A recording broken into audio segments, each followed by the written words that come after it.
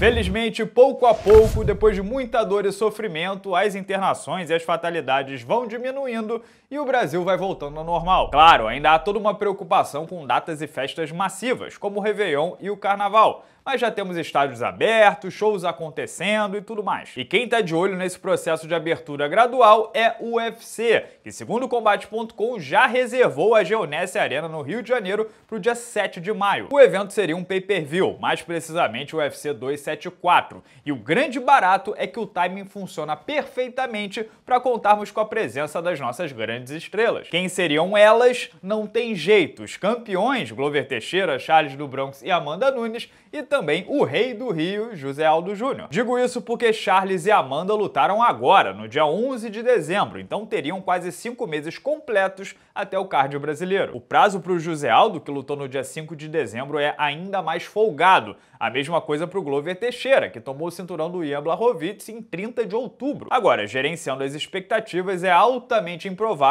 que tenhamos três disputas por cinturões no mesmo card. O UFC não é de botar todos os ovos na mesma cesta. Se fosse apostar, diria que o Glover Teixeira entra no UFC 273, o pay-per-view de março, junto com o seu amigo Alex Poitin Pereira. Se esse for o caso, com Charles, Aldo e Amanda, os ingressos certamente esgotam. Aliás, pouco importa, porque qualquer uma dessas composições vai funcionar. Glover, Charles e Aldo, Glover, Amanda e Aldo. Não recebemos por aqui um evento do UFC desde março de 2020, né? E foi em Brasília. O público aqui do Rio de Janeiro tá faminto. Agora, se Aldo, Amanda e Glover têm adversários óbvios, e tô falando aí do TJ de Lachó, da Juliana Penha e do Iri Prohaska, Charles do Bronx passa a ser a grande dúvida. E por que digo isso? O Dana White não havia confirmado que o title shot é sim do Justin Gates? Na real, o presidente do UFC nunca cravou nada. Ele disse que faz sentido e que é bem possível. Acontece que o menino Conor McGregor estará 100% apto a partir do início de abril. O prudente, o óptimo para um cara vindo de lesão tão séria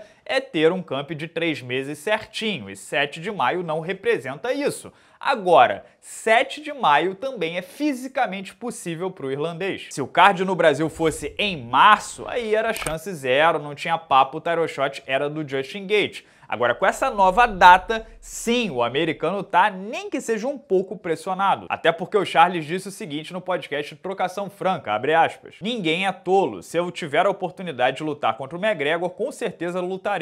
O cinturão é meu de qualquer maneira. A divisão tem que esperar um pouco. Temos que pensar em nossas famílias e nossos filhos. E hoje, em entrevista à TMZ, Justin Gates, pelo visto, sentiu o golpe. Parece que já tá sentindo o bafo do irlandês na nuca, abre aspas. McGregor é irrelevante. Ele não vence uma luta no peso leve desde 2016. Sou o número 1 um do ranking. Se o title shot não for meu, vou botar fogo nas coisas. Vou começar a arremessar carrinhos de mão nos eventos. Você até pode dizer: Ah, Renato, você jamais faria um pay-per-view do McGregor aqui no Brasil. E de fato, uma luta do McGregor rende só em bilheteria ao norte de 10 milhões de dólares. E essa marca aqui no Brasil, em real, é absolutamente impossível. Mas vale lembrar que a Ronda Rousey, quando era a maior estrela da companhia, veio aqui no Brasil lutar com a Beth Correia e vendeu um milhão de pacotes pay-per-view. Então a esperança. Dana disse hoje na ESPN que McGregor volta no verão americano, que começa em junho. A gente está falando aqui de 20 e poucos dias antes. Vamos ver. Imagina só McGregor e Aldo no mesmo card, mesmo não se enfrentando,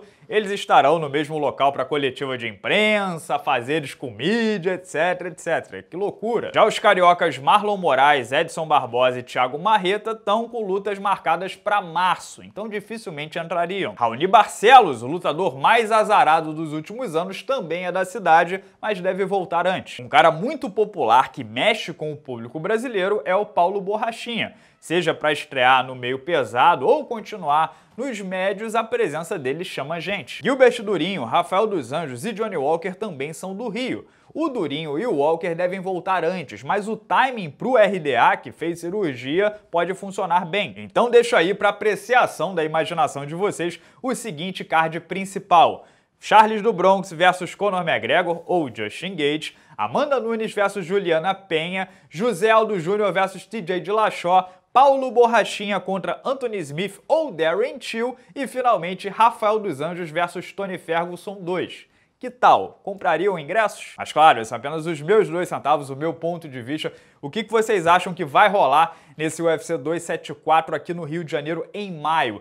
São esses os nomes que devem pintar né, na escalação do UFC ou vocês apostam num cenário diferente? Comentem livremente aqui embaixo no vídeo, se inscrevam no canal para não perder nenhuma resenha, deixa o joinha aí também que ajuda bastante a palavra do sexto round a ser propagada pelo YouTube. E um recado para os membros do canal, acho que essa é a oportunidade perfeita para a gente fazer o nosso primeiro encontro presencial do sexto round. Então com o UFC aqui em maio, quem estiver no Rio de Janeiro, a gente marca um chopp, algum tipo de confronto confraternização. O Carno vai vir aqui para o Rio de Janeiro também e a gente vai informando vocês com o tempo, beleza? E não percam também a última edição do podcast do Sexto Round. Eu e o Carrano debatemos hoje quais foram os melhores lutadores e lutadoras brasileiros em 2021 no MMA todo, não só no UFC. A resenha ficou bem legal, você confere clicando no link aqui em cima ou nos agregadores de áudio, né? Google Podcast, Apple Podcast e Spotify. Beleza? Grande abraço a todos, muito obrigado pela audiência de sempre e até a próxima.